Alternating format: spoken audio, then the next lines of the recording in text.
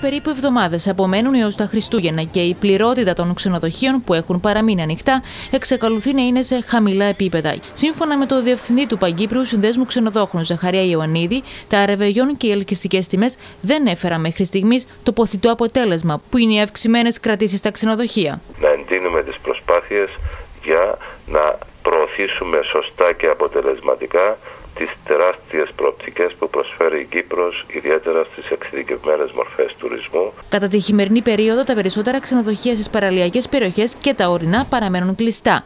Ενδεικτικά να αναφέρουμε ότι στην ελεύθερη αμόχωστο το 90% των ξενοδοχείων είναι κλειστά, ενώ στην Πάφο, που είχε έως τώρα τουρισμό καθ' όλη τη διάρκεια του έτους, έχουν παραμείνει ανοιχτά μόνο τα μισά ξενοδοχεία της. Κλειστά είναι στο μεταξύ και τα μισά ξενοδοχεία στα ορεινά θέρετρα. Από τα 20-21 ξενοδοχεία που ορεινά θέρετρα. Υπάρχουν μόνο 12 με 13. Τα μικρά λόγω αριθμού δωματίων θα ακουμπήσουν το 72%. Σύμφωνα με το Σύνδεσμο Ταξιδοτικών Πρακτόρων, τους τελευταίους τρεις μήνες, σημαντική μείωση παρουσιάζεται και στις αφήξεις Βρετανών και Ρώσων τουριστών. Τους τελευταίους δύο μήνες τα πράγματα έχουν ανατραπεί και έχουμε ε, μια πτώση η οποία ουσιαστικά επηρεάζει και τις ε, αφήξεις ολόκληρου του χρόνου. Όσο για εκείνους που επέλεξαν να κάνουν Χριστούγεννα και Πρωτοχρονιά εκτός Κύπρου, οι κρατήσεις κυμαίνονται σε ίδια περσινά επίπεδα.